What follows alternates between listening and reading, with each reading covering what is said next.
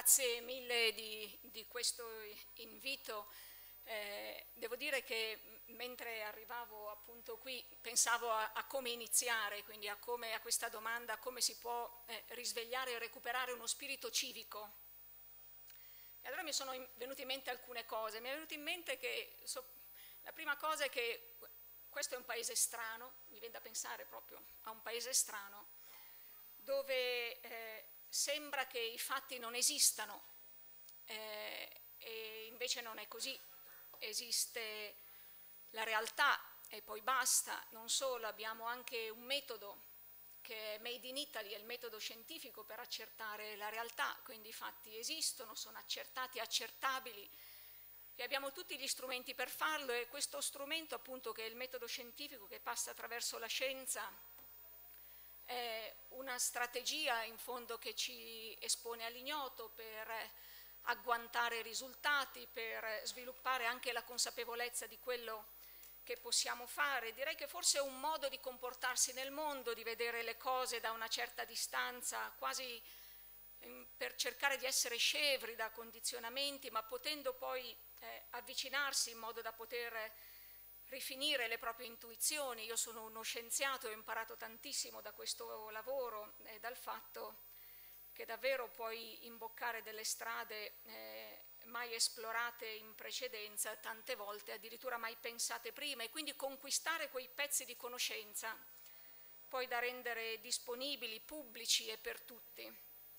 Ecco, io ho quest'idea della scienza, non penso affatto che la scienza sia un qualcosa che debba restare all'interno dei laboratori, eh, penso che non debba essere solo appannaggio dei laboratori e viceversa, credo che sia fondamentale che la scienza renda conto sempre alla società e anche alla politica di, di quanta forza e anche di quanti valori eh, sia portatrice anche insomma, dei rischi del fare, ma anche della capacità di insomma, non accettare il non fare anche la capacità di affrontare i dubbi senza crogiolarsi nei dubbi. Ecco, il rendere conto per me non solo è un dovere, ma è soprattutto un piacere. Questa vita mi ha dato eh, un po' di conflitti che mi hanno portato più volte a rivedere ciò che stavo facendo per individuare argomenti a favore o contro, ma sempre senza nessuna paura. È ovvio che tu hai un'idea, ti innamori della tua idea, ma sai anche che può essere sbagliata e quindi io sono in ogni occasione pronta a sedermi dall'altra parte del tavolo a patto che, a patto che mi vengano messe a disposizione le prove che sedersi all'altra parte del tavolo sia giusto.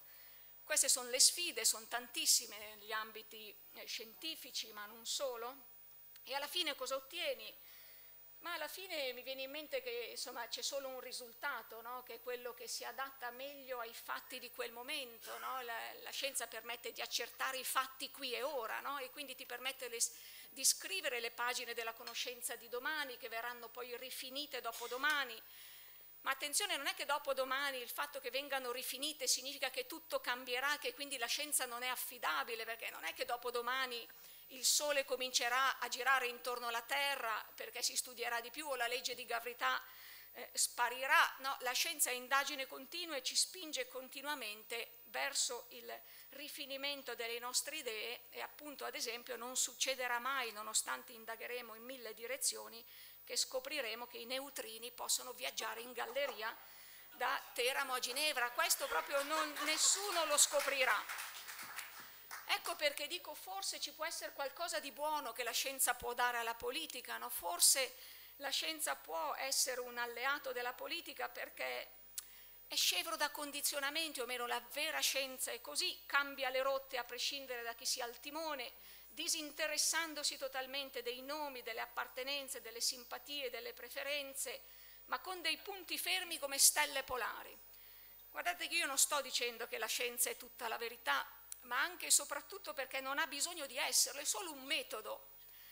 E, e, non credo neanche, come dicevo prima, che la scienza possa bastare a se stessa. Per me la scienza è compiuta nel momento in cui riesce a entrare nei percorsi di crescita culturale e civile di un paese, oltre che nei suoi percorsi economici. Crescita però non staticità indolente o paurosa. Scusate se mi permetto, ma penso che anche la politica non possa bastare a se stessa o essere assolta quando schiva o devia le sue responsabilità. Alla politica certamente spetta l'ultima parola, è una supremazia che nessuno credo possa eh, smentire, ma attenzione che il vocabolario è pieno di parole.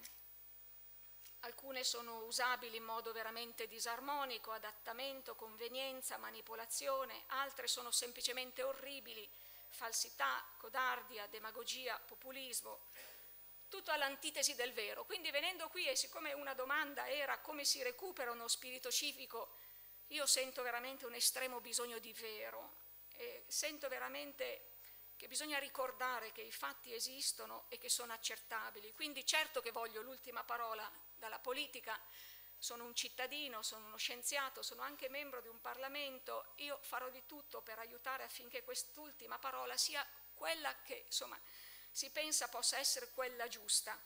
È ovvio anche però che c'è diffidenza, non possiamo nasconderlo, se posso dirlo, fuori dalla politica ci si fida, si fida poco della politica, dentro la politica ci si fida poco eh, della scienza, quindi c'è questa diffidenza reciproca. Forse è il momento appunto di pensare che eh, insomma, stiamo anche perdendo tantissimo terreno.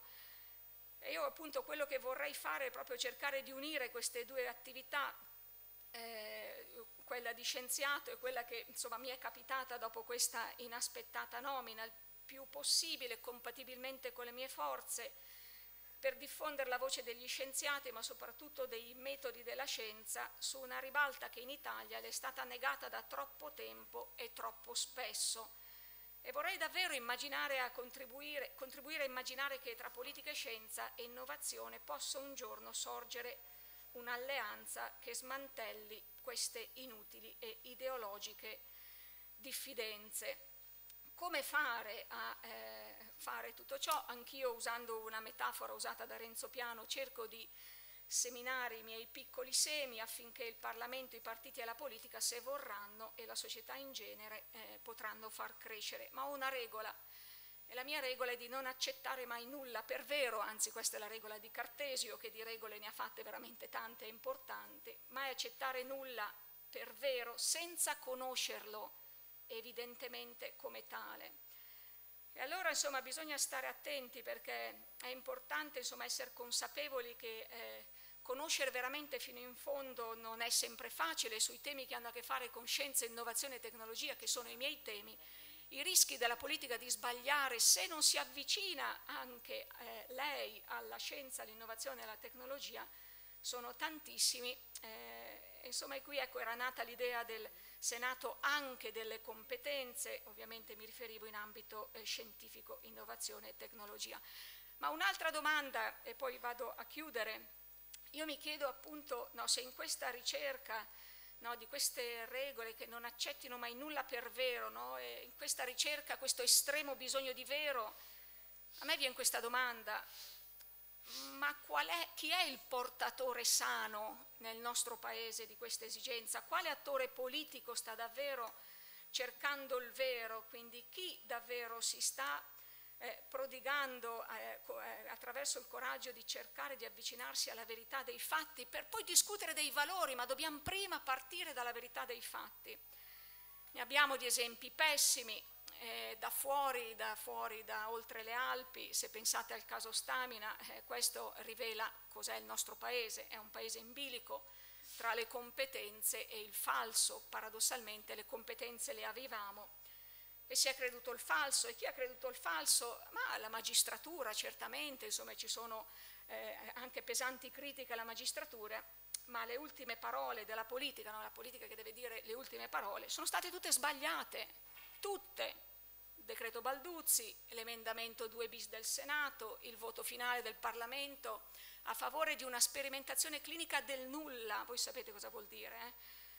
Tante altre parole, ultime parole, secondo me sono state sbagliate, questa è un'altra tragica, sbagliata parola.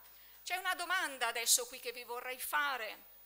OGM, mi piacerebbe parlarne, mi piacerebbe capire di più insieme a voi o a chi è interessato di voi, mi piacerebbe che si potesse parlare di OGM in Italia, non so perché questo eh, non è eh, possibile, non so perché qualcuno proprio dal PD mi ha detto ma questa è una discussione archiviata, ma la scienza non sta con le descrizioni archiviate del secolo scorso, perché non possiamo interrogarci sulla loro possibile utilità? Perché non mettere in campo la ricerca pubblica? Io non sto parlando di multinazionali, tra l'altro guardate che le multinazionali ovviamente fanno molto per noi, sto parlando di ricerca pubblica, sto parlando di chiederci se è vero che gli OGM sono pericolosi, perché io trovo altre risposte.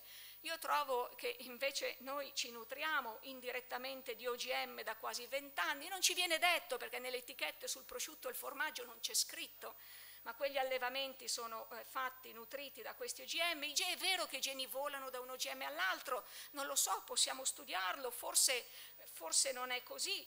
Gli OGM aumentano l'uso degli insetticidi, e degli erbicidi, ma com'è possibile che invece noi leggiamo che nell'Europa quasi OGM free si usano sette volte più pesticidi e erbicidi degli Stati Uniti che usano OGM?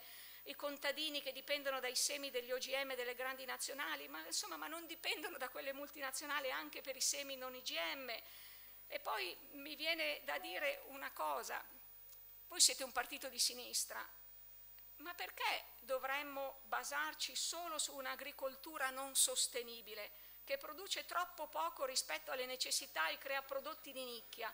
Perché curare solo il biologico che rappresenta il 2% del panorama agricolo? Non è come badare solo a quel 2% di italiani che si veste in cashmere senza preoccuparsi che il resto, il 98%, abbia meno lana a disposizione. Possono gli OGM sfamare il mondo? Io non ho le risposte, guardate che io non ho le risposte, ma mi sto interrogando. L'Accademia Pontificia dice che è una strada da perseguire, l'onorevole Cortiana, con il quale almeno si può discutere, però dice diversamente. Gli scienziati, ma io ho sentito il nostro Presidente del Consiglio, il vostro segretario, dire alle Camere insomma, che aveva ricevuto il plauso del General Manager della, eh, della, eh, della CEO della General Electric per i nostri grandi ingegneri, ma certo che abbiamo i grandi ingegneri bravissimi, ma poi non li ascoltiamo. Io sento elogi ai nostri grandi scienziati ovunque e continuamente, poi tanto li lasciamo fuori e quel che pensano e dicono proprio ci disinteressiamo. Perché gli scienziati si consumano le mani per scrivere di studiare di più, chiedono di studiare di più, non si possono nemmeno studiare gli OGM in Italia e poi ci si gongola quando ci viene detto appunto che abbiamo gli ingegneri migliori e poi li applaudiamo quando se ne vanno e fanno tutte le loro scoperte all'estero. Insomma, affrontare costantemente questi temi è quello che voglio fare e credo che tutti debbano fare, qualsiasi partito a maggior ragione, chi vuole avere una leadership nel Paese, pronti a rivedere le proprie posizioni, significa recuperare il senso civico. E non sarebbe quindi bello, io dico, esaminare in modo oggettivo le prove scientifiche e poi separatamente avviare un dibattito sui valori. Ecco qui l'estremo bisogno di vero, io ho davvero finito, quindi il mio auspicio può essere solo uno ed è lo stesso auspicio che faccio ai miei figli, la stessa raccomandazione e ai miei studenti, che è quello di sviluppare il coraggio di cercare la verità sempre e di parlare di vero e non di miracoli, di non confondere la scienza con gli aneddoti, l'ecologia con l'enogastronomia, il coraggio di credere nella svolta che non potrà mai, che potrà arrivare solo se verranno reclutati davvero gli italiani in base a come verranno trattati, trattati e informati. E anche perché altrimenti, se non si fa così, chiunque vinca nell'agone politico eh, di un'Italia dalle competenze e dalle capacità misconosciute e rimaste indietro, che cosa potrà trarre di vantaggio per il proprio Paese? E questa è davvero la mia ultima immagine, questo è, è l'entusiasmo che, che credo sia ancora da riaccendere anche nei momenti difficili, è tutto qui nelle passioni e nell'ottimismo, eh, da, da, riaccendere appunto ogni giorno come se avessimo ancora vent'anni e come se volessimo cambiare il mondo, cosa che in realtà noi cerchiamo di fare ogni giorno nei nostri laboratori. Grazie.